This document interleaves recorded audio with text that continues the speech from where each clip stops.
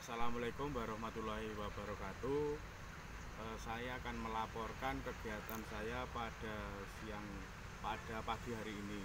Eh, Sebelumnya perkenalkanlah nama saya Dedi Hermansyah PPL Kecamatan Arjosari. Eh, Kegiatan pada pagi hari ini tanggal 12 September jam berapa mas? 8 jam 8 pagi. Jam 8 pagi. Jadi eh, saya akan memper eh, berbagi pengalaman eh, untuk teknik eh, budidaya cabai ini persemaiannya dengan sistem sebar. Jadi eh, kenapa menggunakan sebar? Karena eh, terus terang kalau sebar ini hanya mempercepat eh, untuk pengerjaannya dan menghemat biaya juga eh, akan lebih lebih efektif apabila ada serangan hama penyakit jadi kita bisa memilih. Jadi ini nanti eh, saya akan memberikan eh, berbagi pengalaman eh, dengan teknik sebar kemudian eh, benihnya kita kepal jadi begini mas. Dekat saja mas. Nah ini benih cabai yang akan kita kepal. Eh, ini yang sudah jadi, yang sudah kita kepal. Jadi caranya eh, mudah. Benih cabai ini yang pertama kita cabut terlebih dahulu dari persemaian. Persemaiannya itu, persemaiannya. Jadi eh, setelah kita cabut seperti ini kita potong akarnya yang akar akar pinggang ini yang langsung ini kita potong eh, sekurang lebih eh, berapa ya 3 cm dari dari dari sini. Ini masih ada akarnya. Kemudian begini kita potong. Nah, kemudian kita menggunakan air kelapa.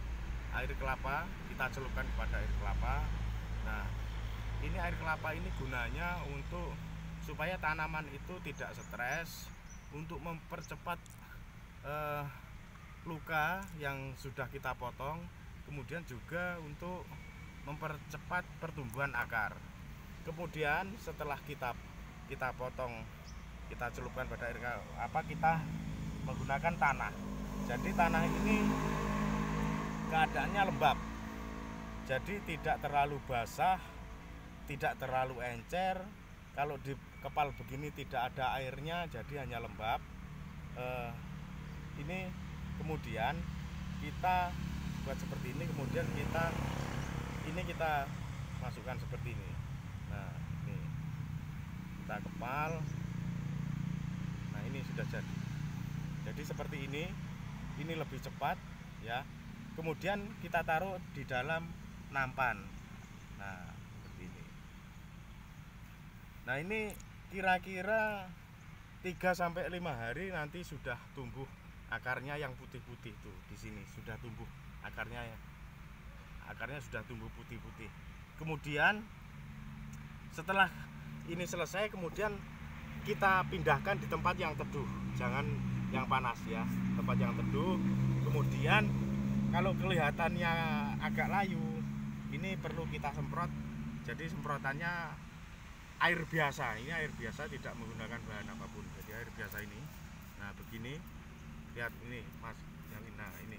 Jadi embunnya saja yang diambil supaya tidak tidak layu setelah 3 sampai 5 hari ini bisa kita tanam. Nah ini kita akan memberikan ini yang sudah kita tanam. Jadi ini cabai ini pertumbuhannya juga cukup cukup bagus. Ini eh, ini umur tujuh hari setelah tanam ini.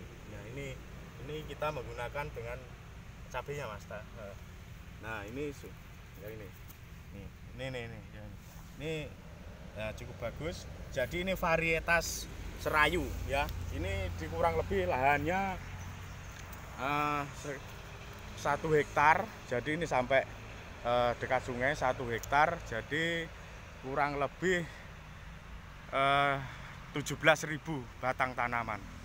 Nah ini eh, terima kasih saya sudah eh, mau sudah melaporkan kegiatan saya pada hari ini yaitu eh, em, mengepal benih cabai yang akan ditanam.